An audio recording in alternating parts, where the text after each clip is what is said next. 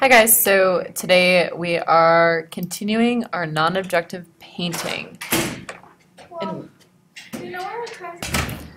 So non-objective painting is a painting that has no objective, as Jonathan said yesterday, which is perfect description. Um, I think that was Jonathan. Um, it has, it is a picture of nothing. So we're going to go File, New. We're just doing this non-objective artwork as our background for our piece. So we're going to call this piece, you know, your name, if you haven't set this up already, and pattern as a metaphor for life's routines.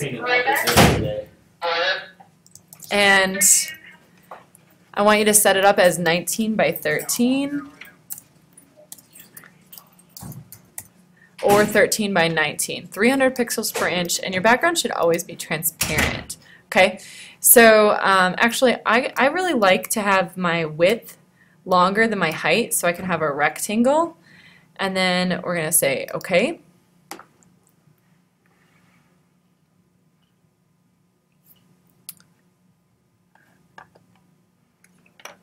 Okay. So here we have our canvas, and I want everybody to have three layers of painting, and these layers are just your painting layers. This is our non-objective painting, and it's basically our background. And as we said yesterday, this painting sets the mood for our artwork. The mood is set with colors, and uh, see I'm using green and blues, and I said that my colors were going to be blue-green. So um, with any layer you can start on, um, you know, you can draw just a regular color. Don't love it, so I'm going to undo it, Command Z. Um, all this stuff should be normal. Your opacity should be 100%. Your flow should be 100%. You know, you could change those, um, but change them back because otherwise somebody might get confused. Um, here's all our different brushes, but we have even more brushes. My favorite brushes are the wet media brushes. So if you click on this little tiny arrow, click on this little tiny arrow here, go down to your wet media brushes. I like to append it. That means it's going to add them to the list. If you just hit OK, it'll um, it'll just change the list. So now I have the brushes that I had before. But down at the bottom, I have these wet media brushes, which are super cool. Okay, so let's try this one first. I'm going to make this pretty big. And I can just, you know, drag it around, do whatever I want with it. Um, if I go to this little menu, right at the top, click it, I can change the orientation of this. So now, when I draw it, it looks a little different. Um, I can change it so it looks like this when I draw it. See how I can get dir different directions out of it by changing those things? Um, spacing makes it more of a polka dot. And no spacing makes it more of a line. So see how that works? It's kind of interesting. Um, kind of fun to play around with.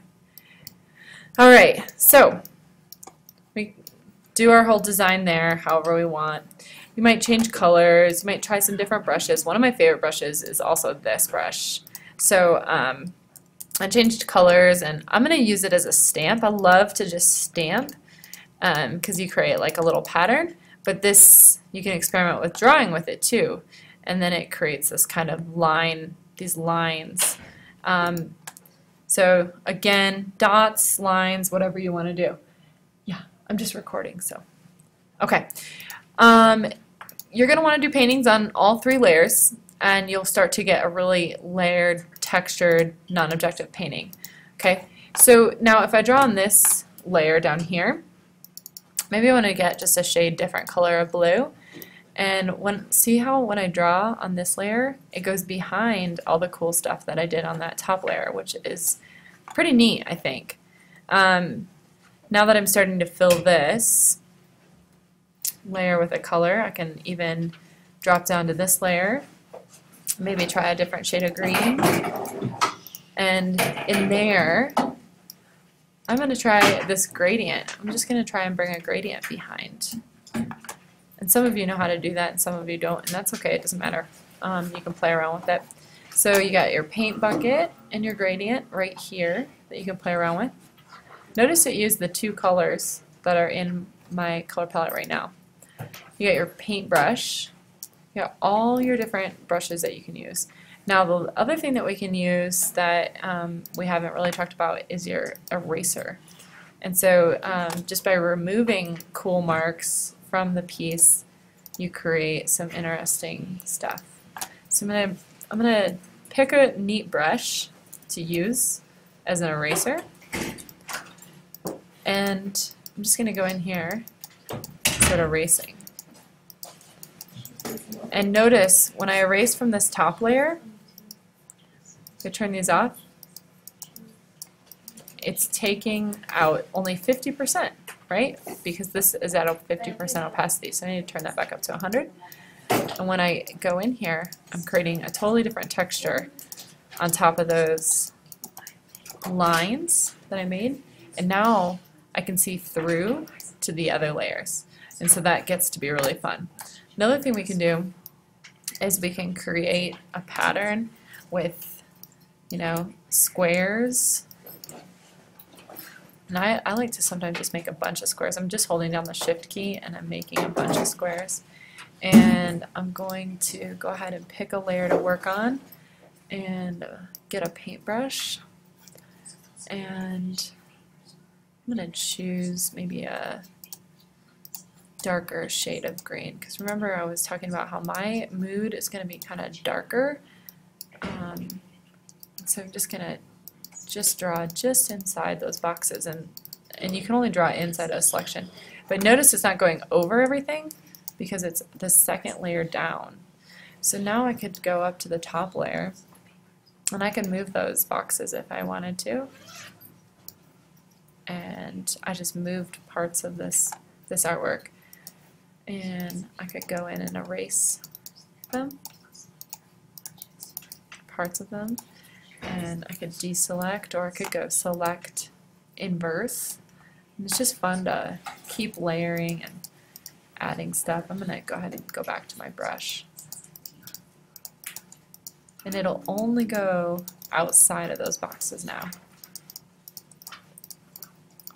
In the end, you're going to have a really cool non-objective painting that'll be the base for your um, pattern artwork. And this should be done by the end of the period today.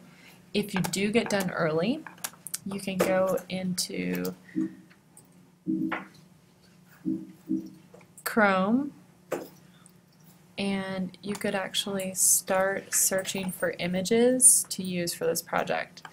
And when you do that, I want you to make a folder just for images for this project.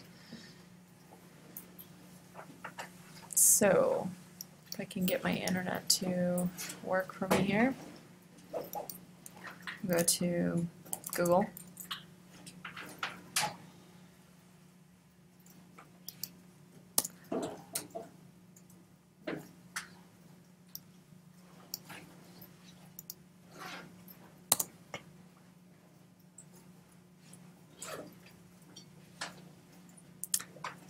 And then from there, we need to start thinking, what is this person's life like? That we're, we're studying the patterns of their life. So what images come to mind? What are some of the things that you listed off yesterday? And remember I said I was listing off things about my dog. So if I were to start to look up images that related to those things, like a dog bowl, like if this is something that I want to somewhere incorporate into my artwork, I might choose I, I'm going to choose something very simple, like this one. Um, I'm going to right click on it, save image as, and then I'm going to make sure that I put this not only in my folder, but in a folder for this project. So if I find my folder with my name on it,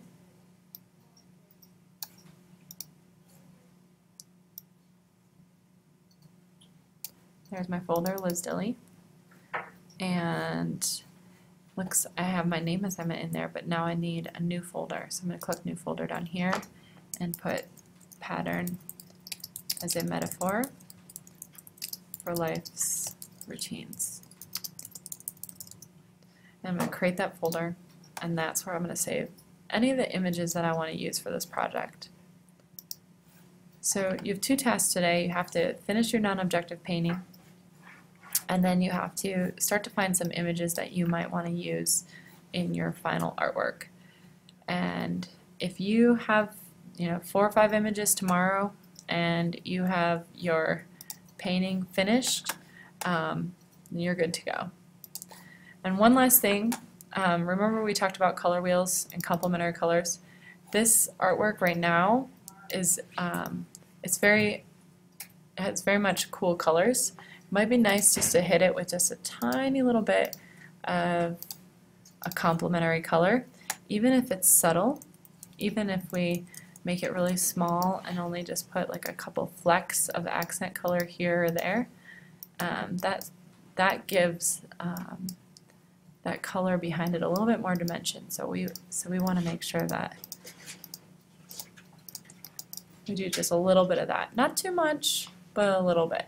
So it still gives it that feeling of kind of sadness, but I have a couple little pops of color to help brighten it up. All right, good luck.